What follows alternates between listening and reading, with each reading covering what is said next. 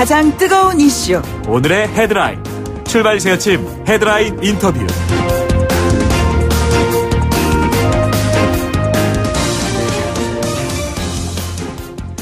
네, 지난달 11일이죠. 안타깝게 목숨을 잃은 25살의 비정규직 청년 김용균 씨 어, 기억하시죠? 꽃다운 나이 김용균 씨의 안타까운 죽음에 전 사회적인 관심이 일어났고 국회에서는 김용균 법이 통과되기로 했습니다. 오늘로 법 통과 27일째입니다. 그리고 용균 씨가 세상을 떠난 지 45일째 되는 날입니다.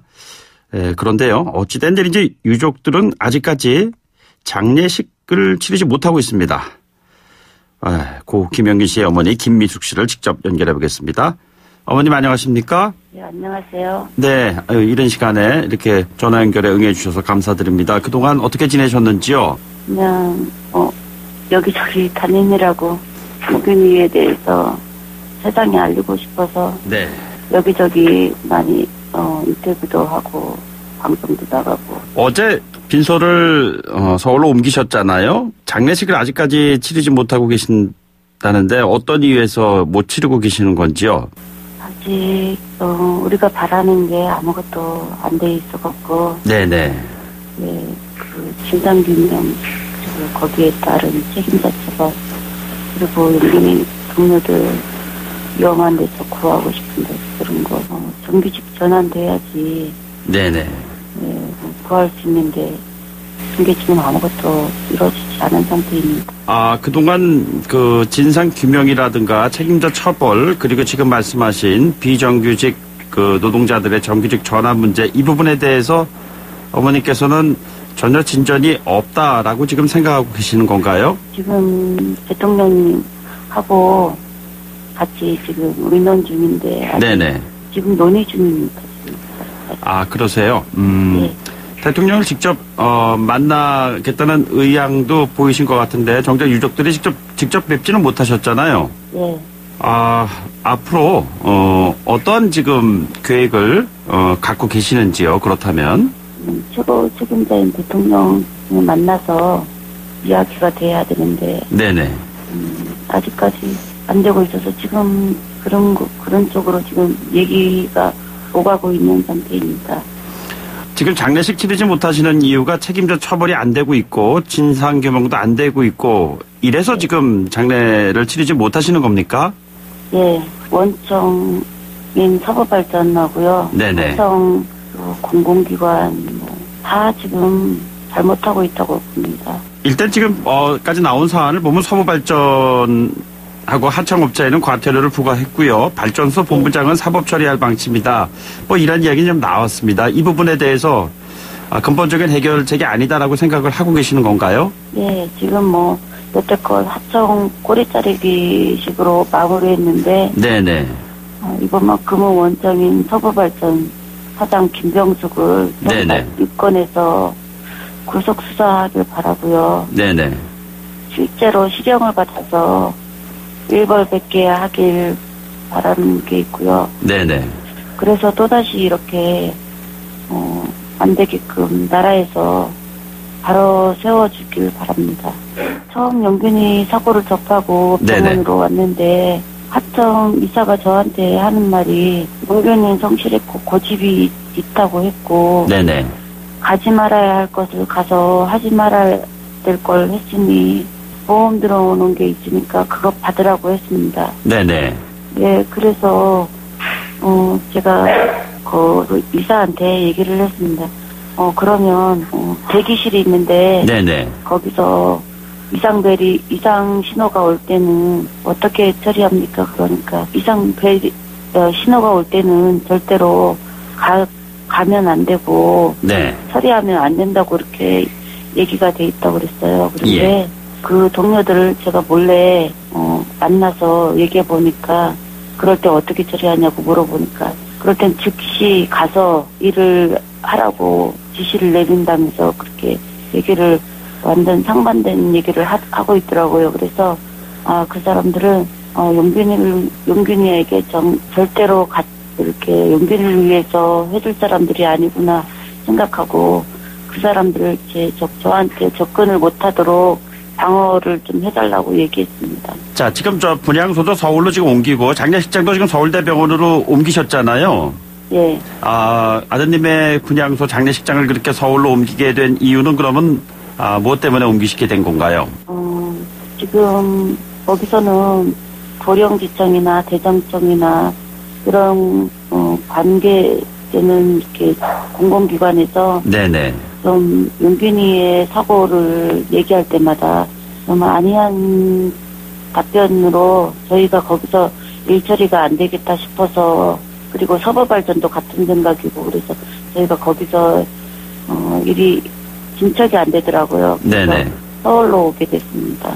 아, 지난해 하고 직접 어 여기서 얘, 얘기하면서 일을 풀어가고자 싶어 가, 가고자 해서 일로 오게 됐습니다. 예.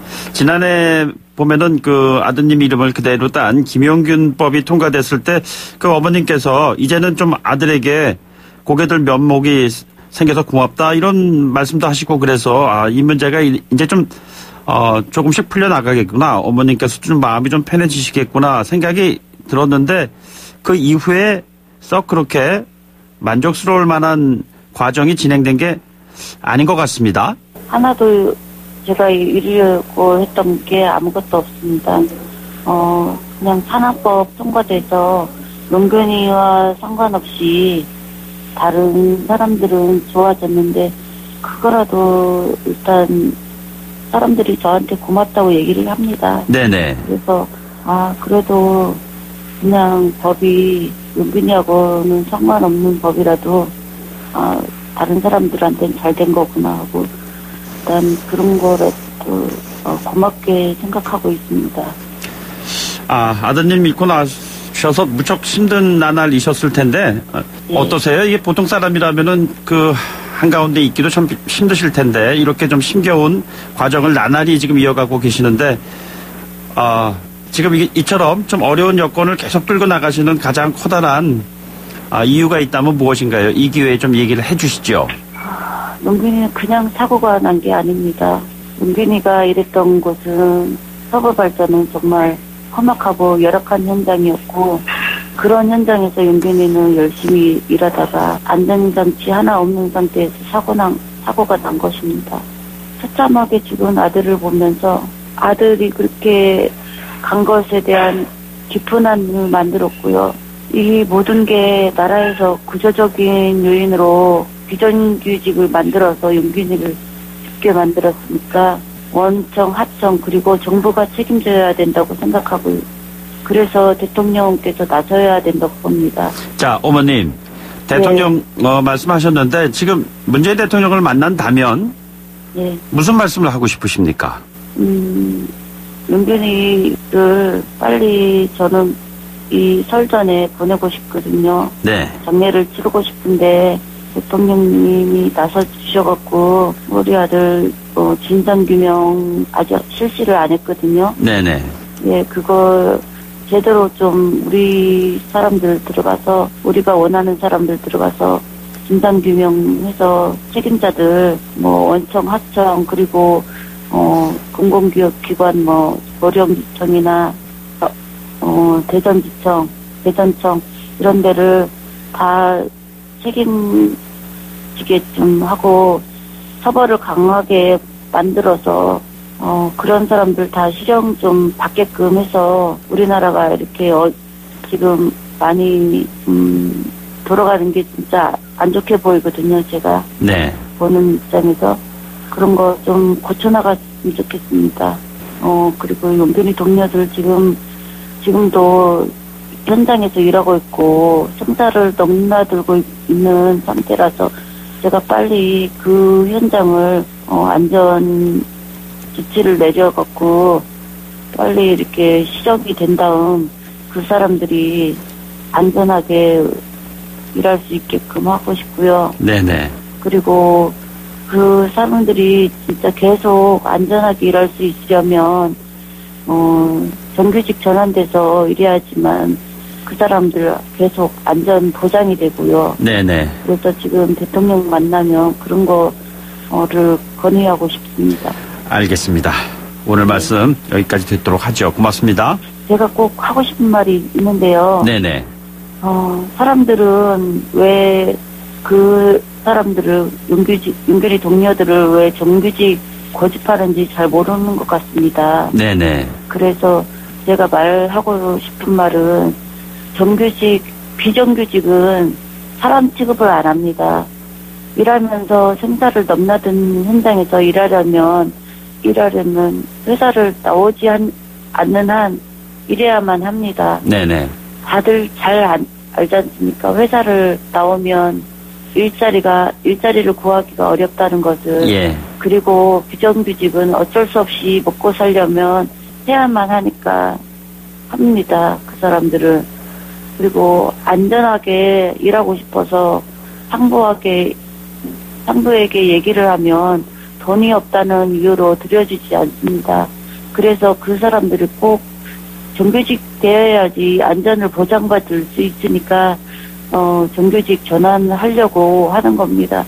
뭐 다른 뭐 비정규직으로 있으면은 일단은 인권이 보장되지 않으니까 그리고 당장이라도 죽을 수 있으니까 어쩔 수 없이 정규직을 고집하는 겁니다. 네네. 그 사람들을 정말 저는 그렇게라도 정규직 고- 정규직을 만들어서 꼭 그렇게 어, 안전한 직장을 갖고 가지고 자부심 갖고 일하는 사람들입니다. 그 사람들은 예. 그러니까 저는 그렇게 해주고 싶습니다. 그 사람들 원하는 대로.